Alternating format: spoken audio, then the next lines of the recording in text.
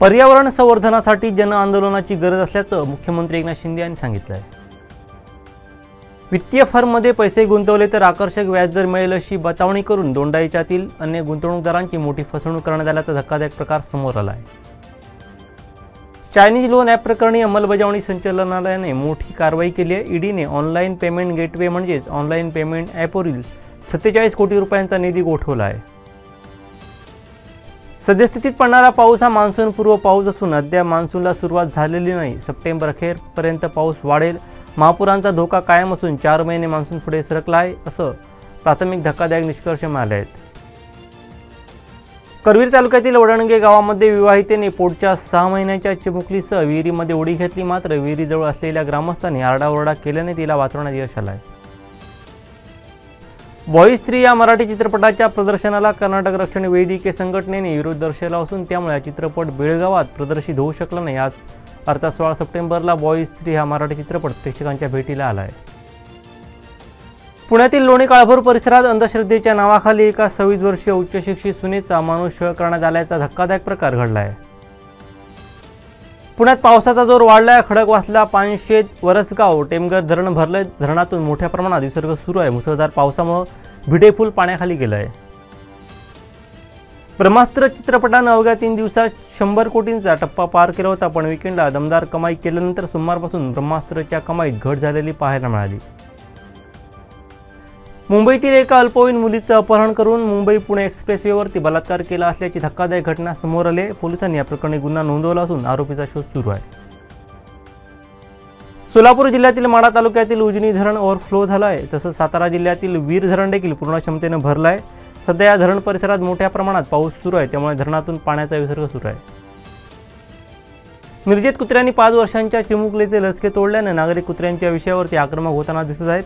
मोकाट कुत्र्यांच्या प्रश्नासाठी प्रणयमित्र नागरिक यांची आज तातडीची बैठक पार पडत आहे. पुण्यात सेक्सतंत्र नावाचं एक प्रशिक्षण शिबिर भरवण्यात येणार आहे. येत्या एक ते तीन ऑक्टोबर दरम्यान पुण्यात हे शिबिर होणार आहे. त्यासाठी प्रति व्यक्ती पंधरा हजार रुपये शुल्क ठेवण्यात आलं आहे या जाहिरातीवरून नव्या वादाला तोंड फुटलं आहे गेल्या काही दिवसांपासून सोन्याचे दर कमी झालेले आपण पाहतोय. आज बुलियन्सच्या वेबसाईटनुसार सोन्याचे फ्युचर्स शून्य पूर्णांक पासष्ट टक्क्यांनी कमी होऊन चोवीस कॅरेट सोन्याचा दर एकोणपन्नास हजार दोनशे नव्वद रुपयांवरती आला आहे माजी गृहनिर्माण मंत्री जितेंद्र आव्हाड यांच्या काळातील सर्व निर्णय नव्या सरकारकडून रद्द करण्यात आले. तसंच म्हाडाला पुन्हा एकदा सर्वाधिकार बहाल करण्याचा निर्णय सरकारनं घेतला आहे डोंबिवलीतील एका उच्चशिक्षित इंजिनियरने आपल्या चार साथीदारांच्या मदतीनं ॲमेझॉन आणि फ्लिपकार्ट या कंपन्यांना गंडा घातल्याचं उघड झालं आहे महाराष्ट्रात मोठ्या प्रमाणावरती हळद पिकाचं उत्पादन घेतलं जातं. सर्वाधिक हळदीचं उत्पादन घेणारा जिल्हा म्हणून हिंगोली जिल्ह्याची ओळख आहे. त्यामुळे हिंगोली जिल्ह्यात बाळासाहेब ठाकरे हळद संशोधन केंद्र उभारलं जाणार आहे.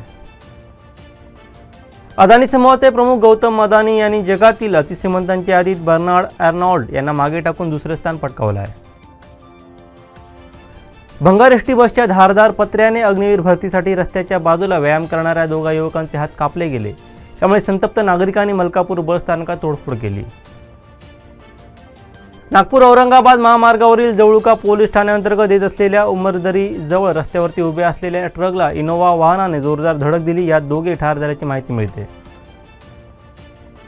नवी मुंबईत राष्ट्रवादी काँग्रेसला मोठं खिंडार पडलंय. दोन माजी नगरसेवकांसह अनेक पदाधिकारी एकनाथ शिंदे गटात सामील झाले. जिल्हाध्यक्ष नगरसेवक अशोक गावडे नगरसेविका स्वप्ना गावडे यांच्यासह एकशे पन्नास ते दोनशे पदाधिकारी आणि कार्यकर्ते शिंदे गटात सामील झाल्याची माहिती मिळते.